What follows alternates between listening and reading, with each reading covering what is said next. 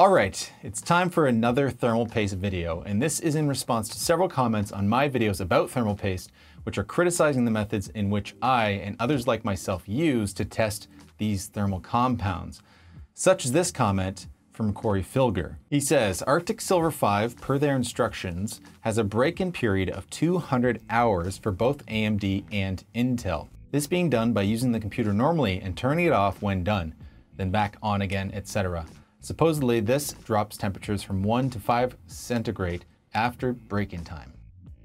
So it's finally time to tackle the question, the age-old question of break-in time of thermal paste. The theory is when testing thermal compounds, there's a prescribed amount of time that is required until the paste reaches maximum effectiveness, which in theory nullifies the validity of tests whose procedures include swapping out different thermal compounds in succession without giving them a chance to break in.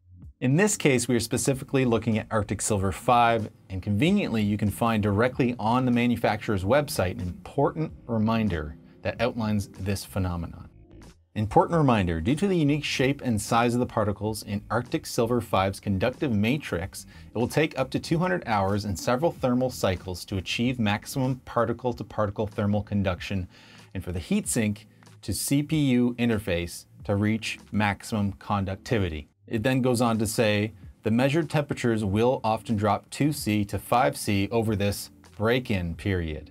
This break-in will occur during normal use of the computer as long as the computer is turned off from time to time and the interface is allowed to cool to room temperature. Once the break-in is complete, the computer can be left on if desired.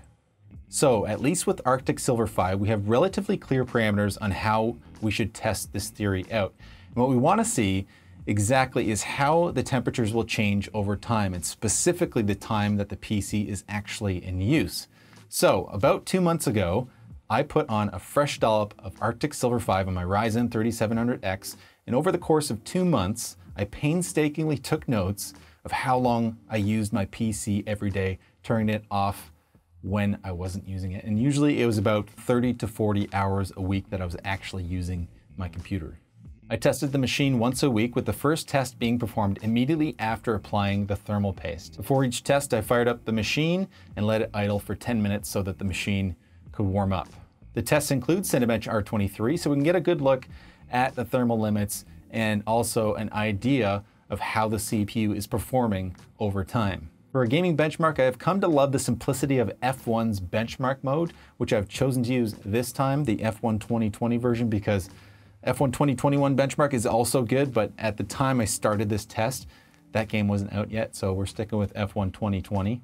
All temps, as usual, are captured with HWiNFO using the CPU CCD1 Tdie reading. So without any further delay, let's have a look at these results. Cinebench R23, starting with hour zero, we have an average temp of 75.5, which happens to be the lowest temperature in the series of tests. As we move along roughly 30 to 40 hours of PC usage time a week, we see the temps rise up to its peak on the third test at 77.8 degrees Celsius and then settle down for the remaining weeks with surprisingly consistent results.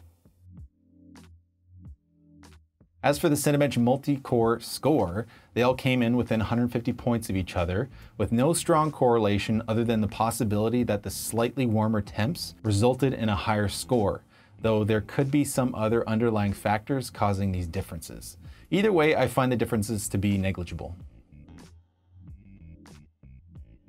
Coming to the results from our F1 2020 benchmark on Ultra 1440p 5 laps in SPA, which is about a 12 minute test. We see a very similar result to that of Cinebench, at least in the progression of temperature changes over time. The zero hour once again the lowest by just 0.2 degrees at 56.8 degrees C, while the highest temperature reached during the seventh test, which comes right after the paste has passed the 200 hour mark.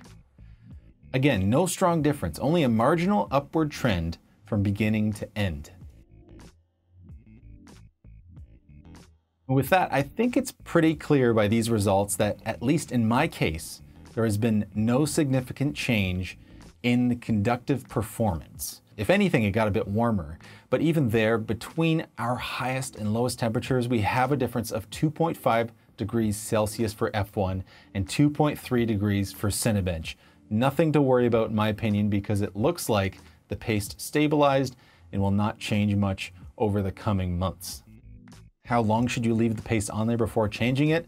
That's a different question for a different video. That's my take on the results. And I need to say that this experiment is inherently flawed because I don't have a control. Like I have a single PC. It'd be nice if I had a, the resources to set up a series of PCs to test this with, but that's just not practical at this moment. I'm using an AIO over an air cooler.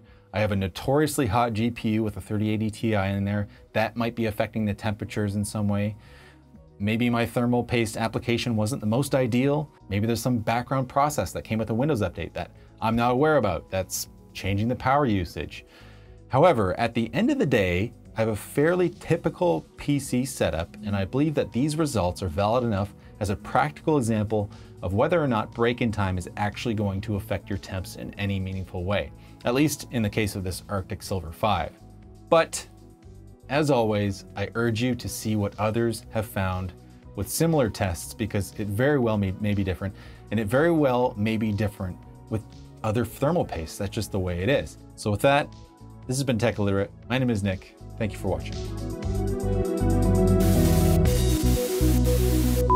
Unique New York, unique New York.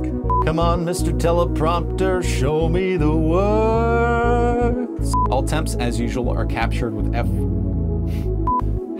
feel like this shirt is just a bit too large.